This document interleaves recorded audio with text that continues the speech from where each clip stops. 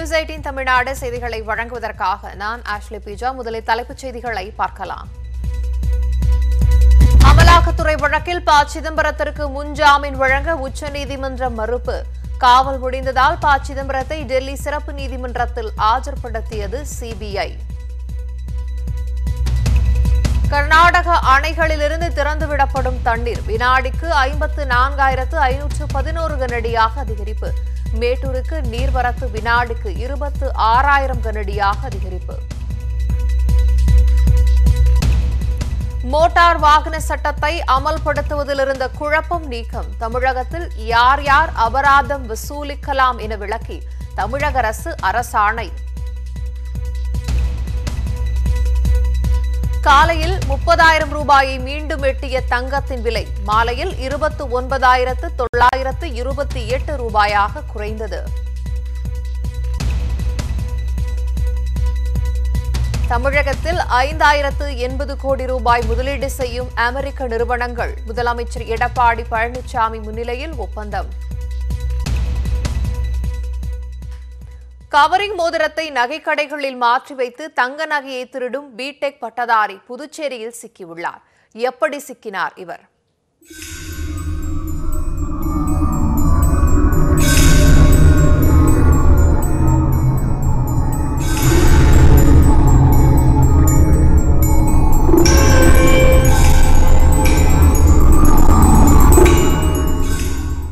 நகை கடைகளில் திருட்டு நடப்பது வழக்கமான ஒன்றுதான். ஆனால் புதுச்சேரியில் ராசியான உடையை அணிந்து ஏழு கடைகளில் தங்க மோதிரங்களை திருடிய இளைஞர் அந்த ராசியான உடையிலேயே அடையாளம் காணப்பட்டு சிக்கியுள்ளார். கவரிங் நகையை மாற்றி வைத்து எப்படி மோசடியில் ஈடுபட்டார்?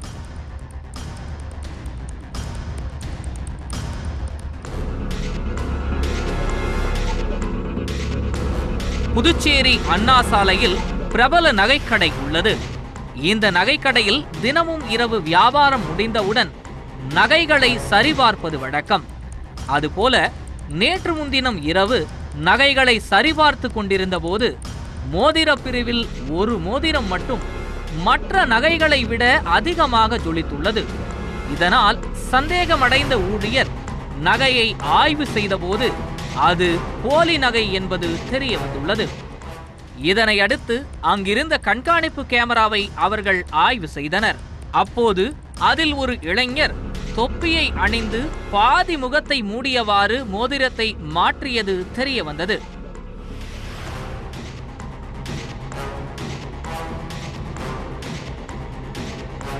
இது குறித்து நெல்லித்தோப்பு பெரியார் நகரை சேர்ந்த கடை மேலாளர் எட்டியான் பெரிய கடை காவல் நிலையத்தில் புகார் தெரிவித்தார்.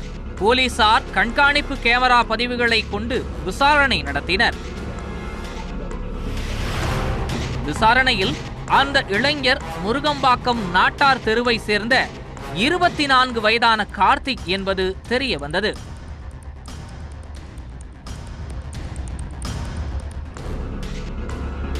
பிடெக் பட்டதாரியான அவர் ஐஸ்கிரீம் கடையில் வேலை பார்த்து வந்துள்ளார். கூடுதல் பணத்திற்கு ஆசைப்பட்டு கவரிங் கடையில் மோதிரம் வாங்கி கையில் அணிந்து கொண்டு நகைக்கடைகளுக்கு சென்று அங்குள்ள தங்க நகைகளுக்கு பதில் போலி நகையை மாற்றி வைத்து நகையை திருடியது தெரிய வந்தது.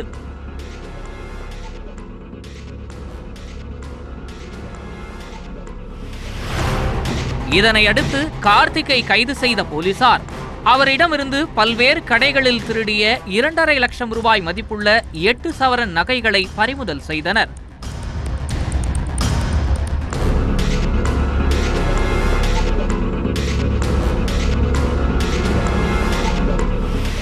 மோதிரம் வாங்குறது மாரி வந்து ஒரு ஒருவர் கடைக்கு வராரு. மோதிரம் வாங்கிட்டு அவர் போகும்போது பார்த்தோன்னா அதில் வந்து அந்த பிளேட்டில் ஒரு டூப்ளிகேட் மோதிரத்தை வச்சுட்டு போகிறதா அவங்கள பா- கண்டுபிடிச்சிடுறாங்க. அந்த புகாரை வந்து நம்மகிட்ட கொடுக்குறாங்க. அந்த புகாரின் அடிப்படையில் விசாரணை மேற்கொள்ளப்படுகிறது. அந்த நபரை நாங்கள் வாஷ் பண்ணுறது எல்லா நகை கடைக்கும் சொல்கிறோம் சொல்லிவிட்டு எங்கள் க்ரைம் டீமில் கொடுக்குறாங்க.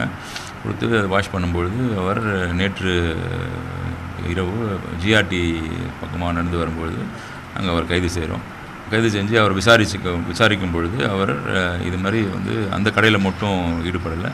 அவர் மொத்தம் ஏழு கடையில் வந்து இது மாதிரி ஒரு திருட்டு திருட்டில் ஈடுபட்டதாக தெரியுது. அவரோட எம்ஓ எப்படின்னாக்கா ஒரு டூப்ளிகேட் மோதிரம் கவரிங் கடையில் வாங்கிறாரு. வாங்கி அதை போட்டுட்டு நகைக்கடை உள்ளே போகிறாரு அவங்க எடுத்து காட்ட சொல்கிறார் காட்டிகிட்டே இருக்கும்போது அதேமாரி மாடல் மோதிரம் வந்தோடனே அதை அதை வச்சுட்டு அந்த மோதிரத்தை கையில் போட்டுட்டு நான் வரேங்கன்னு சொல்லிட்டு போயிடுறாரு. முதல் முறையாக ஜூலை இருபத்தி ஆறாம் தேதி தொப்பி நீல நிற ஜீன்ஸ் வெளிர்பாசை நிற சட்டை அணிந்து சென்று திருடியுள்ளார். அப்போது மாட்டிக்கொள்ளாத காரணத்தினால் அந்த உடையை ராசியாக கருதி ஏழு கடைகளில் ஆகஸ்ட் இரண்டாம் தேதி வரை அதே உடையை அணிந்து திருடியுள்ளார். கடைசியாக இரண்டாம் தேதி கடையில் திருடிய போது சிசிடிவியில் சிக்கி கைதாகியுள்ளார். அரசு பள்ளிகளுக்கு தொண்ணூறாயிரம் ஸ்மார்ட் போர்டு மற்றும் அரசு பள்ளி ஆசிரியர்களுக்கு மடிக்கணினி வழங்கப்படும் என பள்ளிக்கல்வித்துறை அமைச்சர் செங்கோட்டையன் அறிவித்தார். ஆசிரியர்கள் தினத்தை ஒட்டி தமிழக அரசின் சார்பில் சென்னை அண்ணா நூற்றாண்டு நூலகத்தில் நல்லாசிரியர் விருது வழங்கும் நிகழ்ச்சி நடைபெற்றது. இதில் பள்ளிக் கல்வித்துறை அமைச்சர் செங்கோட்டையன் அமைச்சர்கள் ஜெயக்குமார் செல்லூர் ராஜு உள்ளிட்டோர் கலந்து கொண்டனர்.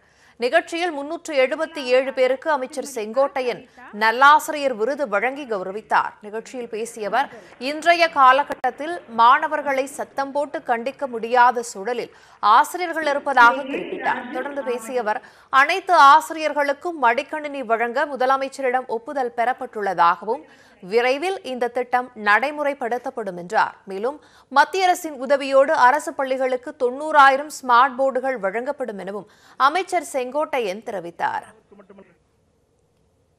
நாற்பத்தஞ்சு லட்சத்தி எழுபத்தி ரெண்டாயிரம் மடிக்கணினிகள் மாணவர்களுக்காக வழங்கினோம். இனி எதிர்காலத்திலே இங்கே இருக்கிற முதலே பட்டதாரி ஆசிரியர்களுக்கு இன்றைக்கு வழங்கப்பட்டு வருகிறது. மிக விரைவிலே ஆசிரியர் பெருமக்கள் அத்தனை பேருக்கும் வழங்குவதற்கு முதலமைச்சருடைய ஒப்புதல் பெற இருக்கிறேன் என்பதை நான் இந்த தெரிவித்துக் கொள்கிறேன்.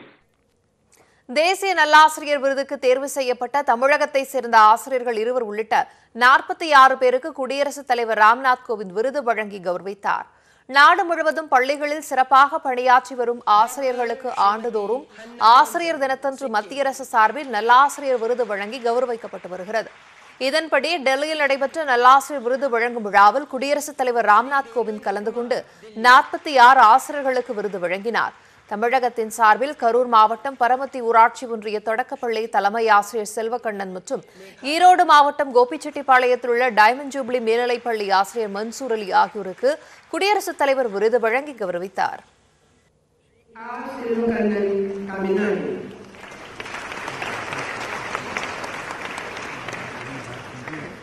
Silvakannan Kaminani. श्रीमती संध्या இதேபோன்று புதுச்சேரி மாநிலம் வில்லியனூர் கூனிச்சம்பேட் பாவேந்தர் பாரதிதாசன் அரசு தொடக்கப்பள்ளி ஆசிரியரும் சசிகுமார் ஆகிய ஆசிரியருக்கும் நல்லாசிரியர் விருது பெற்றனர் ரஷ்யா சென்றுள்ள பிரதமர் நரேந்திர மோடி ஜப்பான் மற்றும் மலேசிய பிரதமர்களுடன் பேச்சுவார்த்தை நடத்தினார் ரஷ்யாவின் விளாடி உஸ்டாக் நகரில் பிரதமர் மோடி ரஷ்ய அதிபர் புட்டின் நேற்று பேச்சுவார்த்தை நடத்தினர் பாதுகாப்பு விண்வெளி வர்த்தகம் முதலீடு எரிசக்தி அணுசக்தி தொடர்பு முனையங்கள் தொழில்துறை கூட்ட ஒத்துழைப்பு உள்ளிட்ட துறைகளில் பதிமூன்று புரிந்துணர்வு ஒப்பந்தங்கள் உட்பட இருபத்தி ஐந்து ஒப்பந்தங்கள் கையெழுத்தாகின. இந்த நிலையில் விளாடிவோஸ்டாக் நகரில் நடைபெறும் கிழக்கத்திய பொருளாதார மண்டல மாநாட்டில் சிறப்பு விருந்தினராக மோடி பங்கேற்கிறார். இந்த மாநாட்டில் பங்கேற்க வந்துள்ள ஜப்பான் பிரதமர் ஷின்சோ அபே மற்றும் மலேசிய பிரதமர் மகாதீர் முகமது மங்கோலிய அதிபர் பட்குலா ஆகியோரை தனித்தனியாக அவர் சந்தித்தார். அப்போது இருதரப்பு உறவு வர்த்தகம் உள்ளிட்ட பல்வேறு அம்சங்கள் குறித்து பேச்சுவார்த்தை நடைபெற்றது.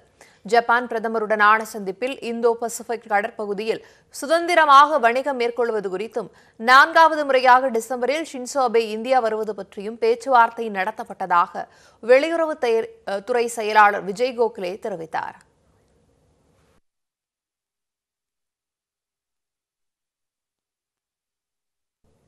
ஆளுநரின் தலையீட்டால் சென்னை பல்கலைக்கழகத்தின் எம்ஏ புத்திசம் பயின்ற மாணவரின் சேர்க்கை ரத்து செய்யப்பட்டுள்ளதாக குற்றச்சாட்டு எழுந்துள்ளது. கிருபா மோகன் என்ற மாணவர் சென்னை பல்கலைக்கழக தத்துவவியல் துறையில் முதுகலை முதலாம் ஆண்டு புத்திசம் பயின்று வருகிறார். ஒரு மாத கால படிப்பு முடிந்த நிலையில் அவரது சேர்க்கை ரத்து செய்யப்பட்டிருப்பதாக அறிவிக்கப்பட்டிருக்கிறது. இந்த நிலையில் அம்பேத்கர் பெரியார் படிப்பு வட்டம் என்கிற மாணவர் அமைப்பில் இடம்பெற்று போராட்டங்களில் பங்கேற்றதால் தனது சேர்க்கை ரத்து செய்யப்பட்டிருப்பதாக மாணவன் கிருபாமோகன் குற்றம் சாட்டியுள்ளார். இந்த காரணங்களுக்காக ஆளுநர் மற்றும் துணைவேந்தரிடமிருந்து தனது துறை தலைவருக்கு கடுமையான அழுத்தம் வந்ததாகவும் மாணவன் கிருபா மோகன் தெரிவித்துள்ளார். இப்போ நான் ஹெச்ஓடி தரப்புல சார் எல்லாமே சரியாக இருக்கிறப்ப என்ன சார் பிரச்சனை அப்படின்னு கேட்குறப்ப ஹெச்ஓடி சொன்னது என்னன்னா ஆளுநர் விசி இவங்க ரெண்டு பேர்கிட்ட இருந்தும் ப்ரெஷர் வருதுங்க. நீங்கள் ஏற்கனவே இங்கே யூனிவர்சிட்டியில் இருக்கிற அம்பேத்கர் பெரியார் ஸ்டடி சர்க்கிள் அப்படின்ற அமைப்பில் வந்து இணைஞ்சு செயல்பட்டுக்கிட்டு இருந்திருக்கிறீங்க. அதில் அந்த அமைப்பு நடத்துகிற போராட்டங்களில் பங்கேற்று இருக்கிறீங்க. இதுதான் வந்து உங்களை நீக்க சொல்கிறதுக்கான காரணம் அப்படின்னு வந்து என்கிட்ட சொன்னார். மாணவர் நீக்கம் குறித்து தத்துவியல் துறை தலைவர் வெங்கடாஜலபதியிடம் கேட்டதற்கு தத்துவியல் துறையில் முதுகலை படிப்பில் சேர வேண்டும் என்றால் பல்கலைக்கழகத்தில் தகுதி சான்றிதழ் வாங்கி கொடுக்க வேண்டும். அந்த சான்றிதழை மாணவர் வாங்கி கொடுக்காத காரணத்தால் அவருடைய சேர்க்கை ரத்து செய்யப்பட்டுள்ளதாக விளக்கமளித்துள்ளார். அம்பேத்கர் பெரியார் படிப்பு வட்டத்தில் செயல்பட்டதற்காக மாணவர் கிருபாமோகன் சேர்க்கை ரத்து செய்த நிர்வாகத்தை கண்டித்து சென்னை பல்கலைக்கழக மாணவர்கள் ஆர்ப்பாட்டத்தில் ஈடுபட்டனர். அம்பேத்கர் பெரியார் படிப்பு வட்டத்தின் முன்னாள் செயலாளர் கிருபாமோகன் மத்திய மாநில அரசுகளுக்கு எதிரான பல்வேறு போராட்டங்களில் ஈடுபட்டதற்காக ஆளுநரின் அழுத்தத்தின் பேரில் நிர்வாகம் அவரது சேர்க்கையை ரத்து செய்துள்ளதாக கூறி மாணவர்கள் கண்டனம் தெரிவித்தனர். மேலும் இந்த சேர்க்கை ரத்தை உடனடியாக திரும்பப் பெற வேண்டும் எனவும் அவர்கள் வலியுறுத்தியுள்ளனர். மதுரையில் அரிசி கடையை துளையிட்டு எண்பத்து நான்காயிரம் ரூபாய் ரொக்கப்பணம் கொள்ளையடிக்கப்பட்டுள்ளது. எப்படி நடந்தது இந்த கொள்ளை? மதுரை மாட்டுத்தாவணி பகுதியைச் சேர்ந்த தங்கப்பாண்டியன் தெற்கு மாடவீதி பகுதியில் அரிசி கடை நடத்தி வருகிறார். புதன்கிழமை இரவு கடையை மூடிவிட்டு வீட்டுக்கு சென்றார். இந்நிலையில் வியாழக்கிழமை கடைக்கு சென்றபோது அதிர்ச்சி காத்திருந்தது. கடையின் சுவரை துளையிட்டு கடைக்குள் புகுந்த அடையாளம் தெரியாத நபர் கல்லாவை உடைத்து அதிலிருந்த எண்பத்து நான்காயிரம் ரூபாய் ரொக்கத்தை திருடிச் சென்றார். உரிமையாளர் அளித்த புகாரை தொடர்ந்து தெற்கு வாசல் காவல் நிலைய போலீசார் வழக்கு பதிவு செய்து சிசிடிவி காட்சிகளை அடிப்படையாக கொண்டு கொள்ளையரை தேடி வருகின்றனர். ப. சிதம்பரம் கைதுக்கு பிறகு மத்திய அரசை மு. ஸ்டாலின் எதிர்ப்பதில்லை என்று அமைச்சர் ஜெயக்குமார் விமர்சித்துள்ளார். வாவு சிதம்பரத்தின் நூற்று நாற்பத்தி எட்டாவது பிறந்த நாளை முன்னிட்டு சென்னை துறைமுகத்தில் உள்ள அவரது சிலைக்கு மரியாதை செலுத்திய பிறகு செய்தியாளர்களை சந்தித்த அமைச்சர் ஜெயக்குமார் ப. சிதம்பரம் கைதருக்கு பிறகு மு. ஸ்டாலின் மென்மையான போக்கை கையாளுவதாக சாடியுள்ளார். திமுக தலைவர் ஸ்டாலினை பொறுத்தவரை இப்போ வந்து நீங்கள் வந்து ஒரு சிதம்பரம் கைதுக்கு பிறகு அவருடைய வாய்ஸ் பார்த்தீங்கன்னா ரொம்ப மென்மையாகி போச்சு. சாஃப்ட் வாய்ஸ் ஆகிப்போச்சு ஏன்னா அடுத்தது நீ அப்படின்ற மாதிரி இப்போ ஒரு பயம் ஆகிப்போச்சு அதான் இன்றைக்கி எச்சலா தான் சொல்லியிருக்காரு. இப்போது அதனால் இப்போ ஏதோ நான் இருக்கிறேன் அப்படின்ற மாதிரி இந்த விஷயத்துக்கு குரல் கொடுத்துருக்காரு. ஆனால் சிதம்பரம் கைதுக்கு பிறகு அவர் வந்து மத்திய அரசை கடுமையாக தான் எதிர்த்திருக்காரா? பாஜகவை வீழ்த்தி வெற்றி பெற்ற தளபதியாக மு ஸ்டாலின் திகழ்கிறார் என பாஜக மூத்த தலைவர் சி பி ராதாகிருஷ்ணன் புகழாரம் சூட்டியுள்ள நிலையில் பாஜகவை திமுக வீழ்த்தவில்லை மக்கள்தான் வீழ்த்தியதாக மு க ஸ்டாலின் பதிலளித்துள்ளார். திமுக முன்னாள் அமைச்சர் வெள்ளக்கோவில் சுவாமிநாதன் இல்ல திருமண விழாவில் இவ்வாறு பேசினர். கலைஞருக்கு பின்னால் யார் என்று வருகின்ற பொழுது தளபதி அவர்கள் தளபதியாக மட்டுமல்லாமல் எங்களை எல்லாம் வீழ்த்திய வெற்றி தளபதியாகவும் இங்கே அமர்ந்திருக்கிறார்கள் நம்முடைய பிஜேபியினுடைய முன்னணி தலைவர் சி பி ராதாகிருஷ்ணன் பேசுகிற போது மனம் திறந்து பேசினார் அவங்களை வீழ்த்திட்டோம்னு சொன்னார். நான் அதை கொஞ்சம் திருத்தி சொல்றேன் வீழ்த்தல. உங்களை தோற்கடிச்சிருக்கோம்.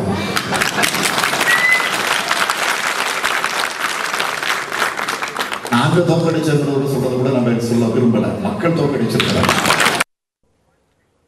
கர்நாடகாவிலிருந்து தமிழகத்திற்கு திறந்துவிடப்படும் தண்ணீரின் அளவு வினாடிக்கு நாற்பத்தி இரண்டாயிரம் கனடியிலிருந்து ஐம்பத்து நான்காயிரத்து ஐநூற்று பதினோரு கனடியாக அதிகரித்துள்ளது. இதனால் மேட்டூர் அணைக்கு வரும் நீரின் அளவு உயர்ந்துள்ளது. கடந்த சில தினங்களாக கர்நாடகாவின் காவிரி நீர்பிடிப்பு பகுதிகளில் கனமழை பெய்து வருகிறது. இந்த நிலையில் கர்நாடகாவின் கிருஷ்ணசாகர் அணை அதன் முழு கொள்ளளவை எட்டியுள்ளது. அணைக்கு பதினெட்டாயிரம் கனடி நீர் வரும் நிலையில் வினாடிக்கு இருபத்து நான்காயிரத்து ஐநூற்று பதினோரு கனடி நீர் திறக்கப்படுகிறது. இதேபோல் கபனி அணைக்கு இருபத்து மூன்றாயிரம் கனடி நீர் வரும் நிலையில் முப்பதாயிரம் கனடி நீர் திறக்கப்படுகிறது. இதற்கிடையே ஒகேனக்கல் ஆற்றில் பரிசல் மீண்டும் இயக்கப்பட வேண்டும் என்ற தடை நீட்டிக்கப்பட்டுள்ளது. கர்நாடக அணைகளிலிருந்து திறந்துவிடப்படும் தண்ணீரால் ஒகேனக்கல் காவிரி ஆற்றில் வினாடிக்கு இருபத்தி எட்டாயிரம் கனடியை கடந்து தண்ணீர் வந்து கொண்டிருக்கிறது. இதனால் ஒகேனக்கல் அருவிகளில் மூழ்கடித்தபடி வெள்ளப்பெருக்கு ஏற்பட்டது. இதைத் தொடர்ந்து மக்களின் பாதுகாப்பை கருதி மீண்டும் பரிசல் இயக்க மாவட்ட நிர்வாகம் தடை விதித்துள்ளது. மேட்டூர் அணையின் நீர்வரத்து வினாடிக்கு இருபத்து ஐந்தாயிரம் கனடியிலிருந்து இருபத்து ஆறாயிரமாக அதிகரித்துள்ளது. வினாடிக்கு பதினெட்டாயிரம் கனடி வீதம் தண்ணீர் வெளியேற்றப்பட்டு வருகிறது. அதேபோல் பிலிகுண்டுலு அணைக்கு வரும் நீர்வரத்தும் வினாடிக்கு இருபத்தொன்பதாயிரம் கனடியாக அதிகரித்திருக்கிறது. துணை முதல்வர் மகனும் மக்களவை உறுப்பினருமான ரவீந்திரநாத் குமார் காவித்துண்டு அணிந்து கொண்டு இந்து முன்னணி சார்பில் விநாயக சதுர்த்தி ஊர்வலத்தை தொடங்கி வைத்தார். தேனியில் நடைபெற்ற நிகழ்ச்சியில் பேசியவர் நாம் அனைவரும் முதலில் இந்து அதன் பிறகுதான் மற்றது எனவும் கூறினார். நாம் அனைவரும் ஒற்றுமையாக வலிமையாக இந்திய புதிய இந்தியாவின் புதிய பாரதத்தை நாம் உருவாக்கப்பட வேண்டும். இது ஒரு பாதுகாப்பான ஒரு பாரதம். ஒரு உலக நாடுகள்ல நம்ம இந்தியா வல்லரசு நாடாக வளர வேண்டும் என்பதற்காக நமக்குள்ள இருக்கின்ற ஒரு ஒற்றுமையை நாம் கடைபிடிக்க வேண்டும். நாம் அனைவரும் முதல்ல இந்து அதுக்கப்புறம் தான் மத்தது அப்படின்னு ஒரு உணர்வு நமக்குள்ள ஏற்பட வேண்டும். அமெரிக்காவின் நியூயார்க் மற்றும் சான் பிரான்சிஸ்கோ நகரங்களில் நடந்த தொழில் முதலீட்டாளர்கள் மாநாட்டில் முதலமைச்சர் எடப்பாடி பழனிசாமி முன்னிலையில் ஐந்தாயிரம் கோடி ரூபாய் முதலீட்டில் தமிழகத்தில் தொழில் தொடங்குவதற்கான புரிந்துணர்வு ஒப்பந்தங்கள் கையெழுத்தாகின. இங்கிலாந்தை தொடர்ந்து அமெரிக்காவின் நியூயார்க் நகரில் சுற்றுப்பயணம் மேற்கொண்ட முதலமைச்சர் எடப்பாடி பழனிசாமி தலைமையில் முதலீட்டாளர்கள் மாநாடு நடைபெற்றது. இங்கிலாந்தை தொடர்ந்து அமெரிக்காவின் நியூயார்க் நகரில் சுற்றுப்பயணம் மேற்கொண்ட முதலமைச்சர் எடப்பாடி பழனிசாமி தலைமையில் முதலீட்டாளர்கள் மாநாடு நடைபெற்றது. இதில் இரண்டாயிரத்து எழுநூற்று எண்பது கோடி ரூபாய் முதலீட்டில் தமிழகத்தில் தொழில் தொடங்குவதற்கான ஒப்பந்தங்கள் கையெழுத்தாகின.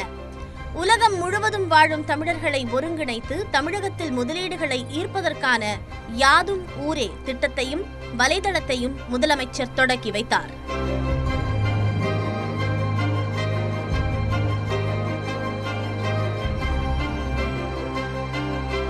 இதைத் தொடர்ந்து சான் பிரான்சிஸ்கோ நகருக்கு வந்த முதலமைச்சர் எடப்பாடி பழனிசாமியை விமான நிலையத்தில் அமெரிக்க வாழ் தமிழர்கள் பூங்கொத்து கொடுத்து சால்வை அணிவித்து வரவேற்றனர். பின்னர் சான்ஹோசே நகரில் நடைபெற்ற முதலீட்டாளர்கள் மாநாட்டிற்கு வருகை தந்த முதலமைச்சரை அமைச்சர்கள் M C Sampath R B Udhayakumar ஆகியோர் மலர்கொத்து கொடுத்து வரவேற்றனர். இந்த மாநாட்டில் லிங்கன் எலக்ட்ரிக் கால்டன் பயோடெக் கிளவுட் லேர்ன் உள்ளிட்ட தொழில் நிறுவனங்களும் டை குளோபல் கூகுள் எக்ஸ் உள்ளிட்ட தகவல் தொழில்நுட்ப நிறுவனங்களும் என பத்தொன்பது நிறுவனங்கள் கலந்து கொண்டன. இந்த நிறுவனங்களுடன் சுமார் இரண்டாயிரத்து முன்னூறு கோடி ரூபாய்க்கான புரிந்துணர்வு ஒப்பந்தங்கள் கையெழுத்தாகின. இதன் மூலம் ஆறாயிரத்து ஐநூற்றுக்கும் மேற்பட்ட புதிய வேலை வாய்ப்புகள் உருவாக்கப்படும் என தமிழக அரசு தெரிவித்திருக்கிறது. நியூயார்க் மற்றும் சான் பிரான்சிஸ்கோ நகரங்களில் நடைபெற்ற முதலீட்டாளர்கள் மாநாட்டின் மூலம் ஐயாயிரத்து எண்பது கோடி ரூபாய் அளவுக்கு தமிழகத்திற்கு முதலீடுகள் ஈர்க்கப்பட்டு இருபத்து ஆறாயிரத்து ஐநூறு புதிய வேலைவாய்ப்புகள் உருவாக்கப்படும் என கூறப்படுகிறது. முதலீட்டாளர்கள் மாநாட்டை தொடர்ந்து யாதும் ஊரே நிகழ்ச்சியில் முதலமைச்சர் எடப்பாடி பழனிசாமி கலந்து கொண்டு தமிழ் அமைப்பினருடன் கலந்துரையாடினார்.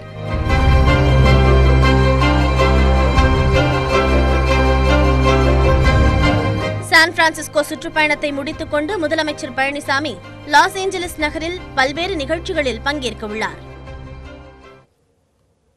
எஸ்ஐக்கு நிகரான போக்குவரத்து காவல் அதிகாரிகளே வாகன ஓட்டிகளுக்கு அபராதம் விதிக்கலாம் என தமிழக அரசு விளக்கம் அளித்துள்ளது. போக்குவரத்து விதிமீறல்களை கட்டுப்படுத்தும் வகையில் அபராத தொகையினை பத்து மடங்கு உயர்த்தி புதிய மோட்டார் வாகன சட்டம் அமல்படுத்தப்பட்டுள்ளது. இதையடுத்து ஹெல்மெட் அணியாமல் செல்வோர் குடித்துவிட்டு வாகனம் ஓட்டுவோருக்கு கடந்த சில தினங்களாக அபராதம் விதிக்கப்பட்டு வருகிறது.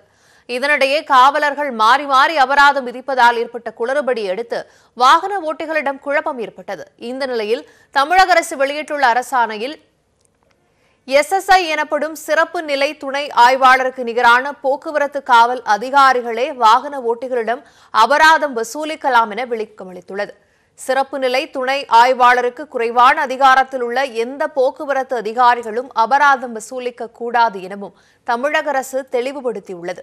தமிழகம் முழுவதிலும் உள்ள சோதனை சாவடிகளை தவிர்த்து வேறு எங்கு வேண்டுமானாலும் அபராதம் விதிக்கலாம் எனவும் அரசு தெரிவித்துள்ளது. தெலங்கானாவில் சொத்து தகராறு காரணமாக அண்ணன் மகனை அவரின் பிறந்த நாள் கேக்கில் விஷம் வைத்துக் கொன்ற சித்தப்பாவை காவல்துறையினர் தேடி வருகிறார்கள். என்ன நடந்தது தெலங்கானாவில்?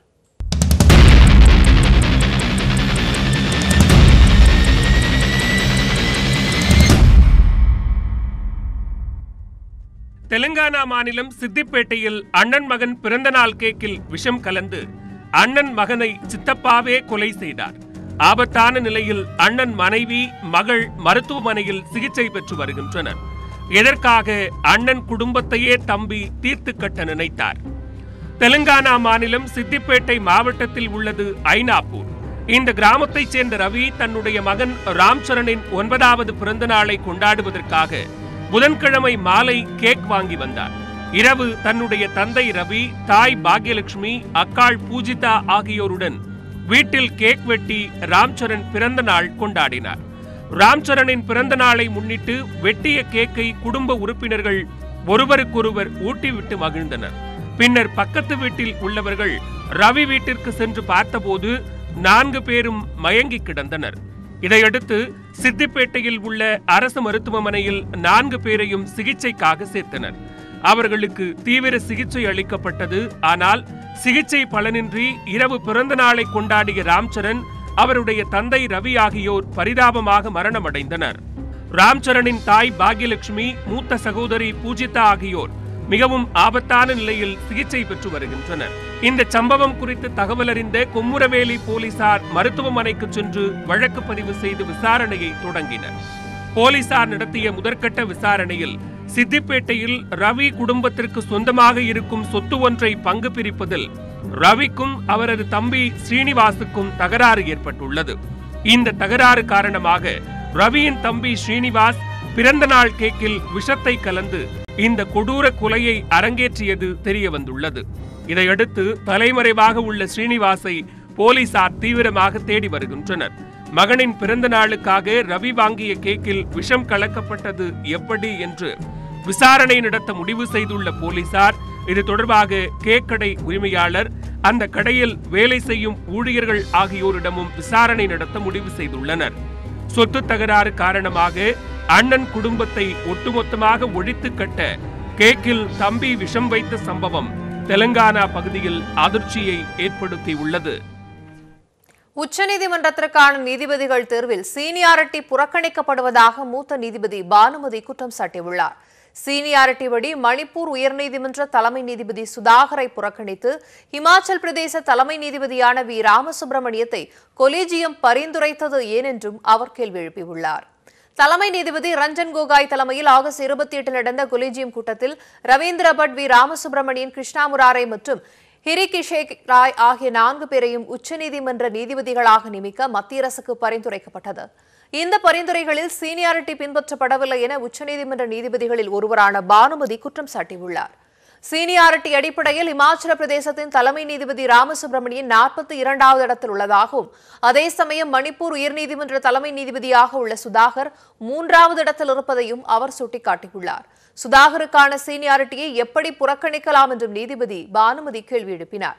நாட்டின் ஆறாவது மூத்த நீதிபதியான பானுமதி கொலீஜியம் குழுவில் இடம்பெறவில்லை. தமிழகத்தை சேர்ந்த இவர் சென்னை உயர்நீதிமன்றத்தில் பணியாற்றியவர் என்பதால் அதே நீதிமன்றத்தில் பணியாற்றிய ராமசுப்பிரமணியன் தேர்வு குறித்து இவரிடம் கருத்து கேட்கப்பட்டுள்ளது.